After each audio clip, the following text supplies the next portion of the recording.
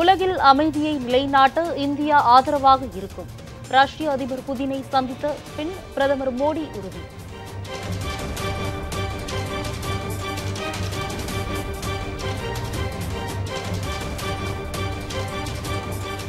உலகின் மிகப்பெரிய குற்றவாளியான ரஷ்ய அதிபர் புதினுடன் உலகின் மிகப்பெரிய ஜனநாயக நாட்டின் பிரதமரான மோடி உறவு கொண்டாடுவது ஏமாற்றம் அளிக்கிறது. உக்ரைன் அதிபர் ஜெனல்ஸ்கி கண்டனம்.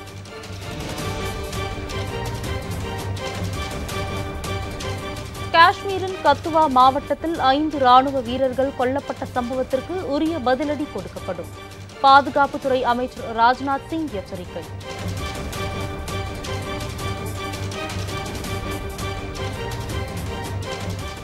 விக்கிரவாண்டி இடைத்தேர்தல் வாக்குப்பதிவுக்கான ஏற்பாடுகள் தயார்.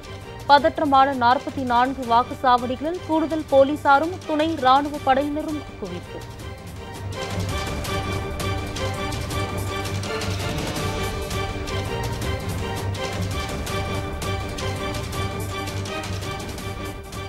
மாநிலம் வைக்கத்தில் புனரமைக்கப்பட்ட தந்தை பெரியார் நினைவகம். ஆகஸ்ட் மாதம் முதலமைச்சர் மு க ஸ்டாலின் திறந்து வைக்கிறார்.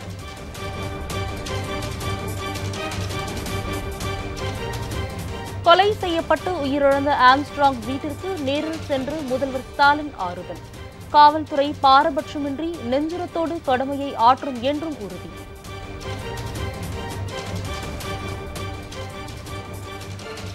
மறைந்த ஆம்ஸ்ட்ராங் இல்லத்திற்கு சென்று எதிர்க்கட்சி தலைவர் எடப்பாடி பழனிசாமி மலர் தூவி அஞ்சலி. மனைவி மற்றும் குடும்பத்தினருக்கு ஆறுதல்.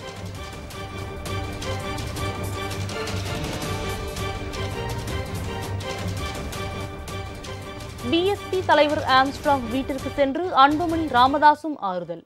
இரு சமுதாயங்களும் ஒற்றுமையுடன் மேம்படுவது அவசியம் என வலியுறுத்தல்.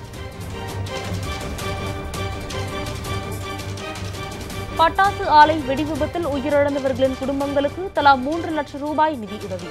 முதலமைச்சர் ஸ்டாலின் அறிவிப்பு.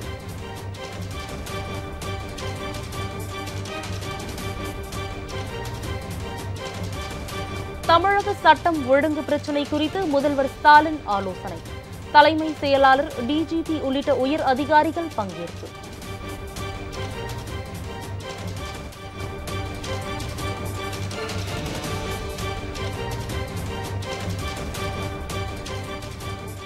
உண்மைக்கு புறம்பாக பேசினால் என்ன வழக்கு வரும் என ஐபிஎஸ் படித்த அண்ணாமலைக்கு தெரியுமா? தன்னை ரவுடி என்று விமர்சித்த அண்ணாமலைக்கு செல்வ பெருந்தகை கேள்வி.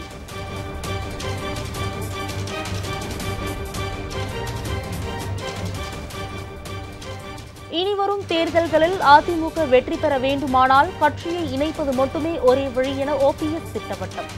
தன்னை மன்னிப்பு கேட்க சொல்ல எடப்பாடி பழனிசாமி யார் என்றும் கேள்வி.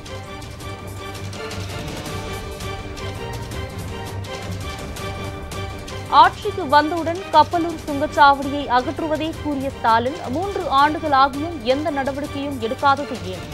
ஆர் பி உதயகுமார் கேள்வி.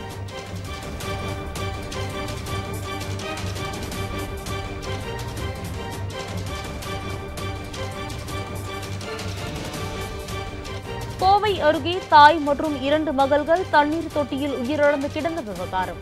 குடிக்கு அடிமையான கணவரை கொலை செய்த கொடூரம்.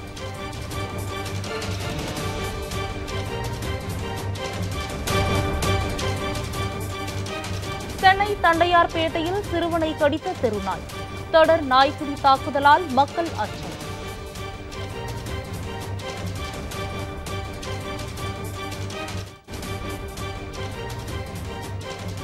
புதுச்சேரி பட்ஜெட் தொகைக்கு அனுமதி வழங்க வேண்டும். நிதி அமைச்சர் நிர்மலா சீதாராமனை நேரில் சந்தித்து சபாநாயகர் செல்வம் வலியுறுத்தல்.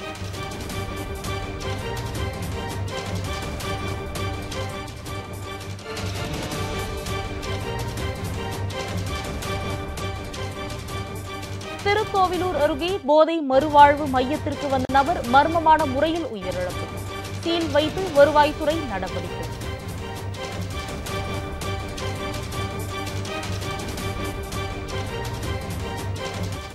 தமிழகத்தில் அடுத்த ஏழு நாட்கள் மழைக்கு வாய்ப்பு வானிலை ஆய்வு மையம் அறிவிப்பு.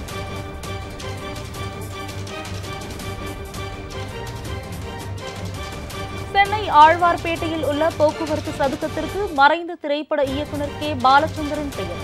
அரசுக்கு பாரதி ராஜா வரவேற்பு.